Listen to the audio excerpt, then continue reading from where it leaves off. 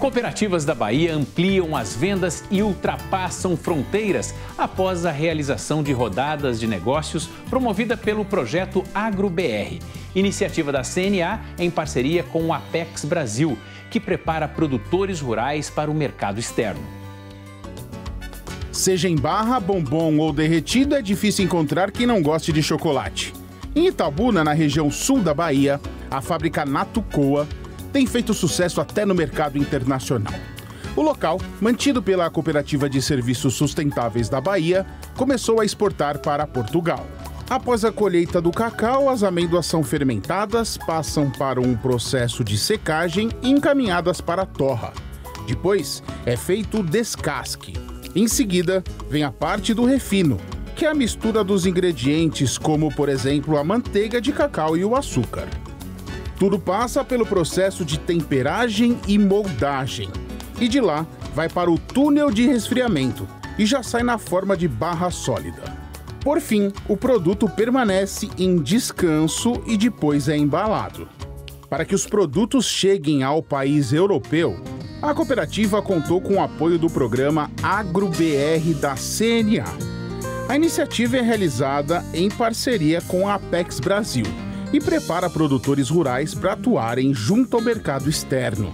Os participantes recebem apoio dos consultores, assessoria de marketing, treinamento e serviço de tradutores para estarem prontos na hora de fechar o negócio. A consultoria ajudou na formação de preço, na questão da documentação, emissão de documentação e também é, na, no, na logística desse produto.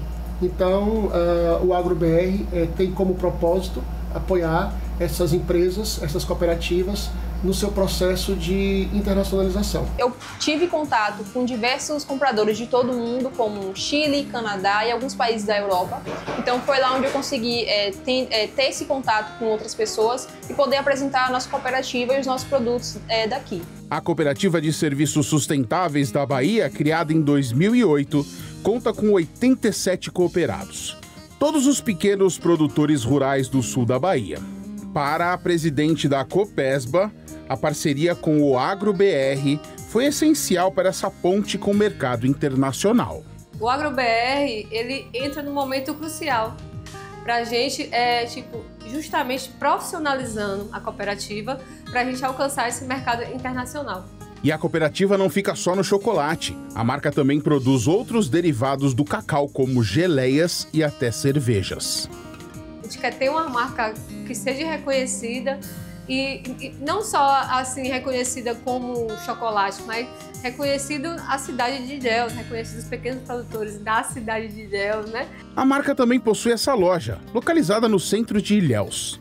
A Daniela, moradora de Alagoas, estava a passeio e ficou surpresa em saber que os produtos vão também para outros países. Às vezes a gente não valoriza muito o que a gente tem.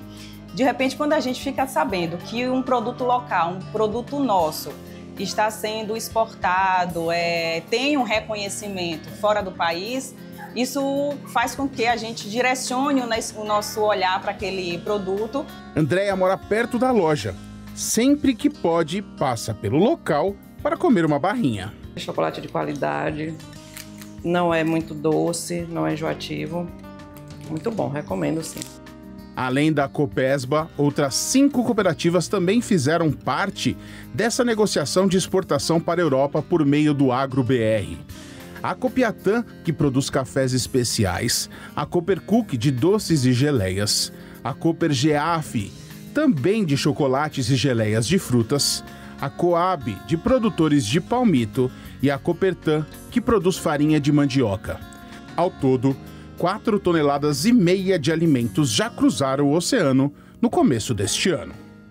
É importante frisar que é, Portugal é um mercado importante, a União Europeia é muito sensível em relação a produtos da agricultura familiar, que tem responsabilidade socioambiental e ainda há muito trabalho para se fazer em relação à consolidação é, do mercado.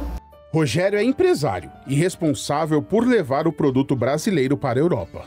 Ele está em Portugal e fala sobre a recepção do chocolate vindo direto do sul da Bahia. Foi uma coisa fantástica. Quando eles comem, eles vão ao delírio e gostam muito.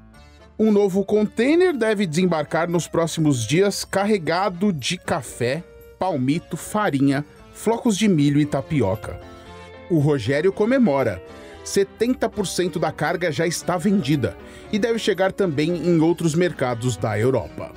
Hoje a gente já tem a Alemanha, né, um forte comprador. Temos a Bélgica também, a França e aqui Portugal. Na segunda quinzena de abril a gente está indo para a Espanha participar do Salão Gourmet e atender alguns distribuidores e algumas redes de empório e supermercado que já estão interessadas nos nossos produtos.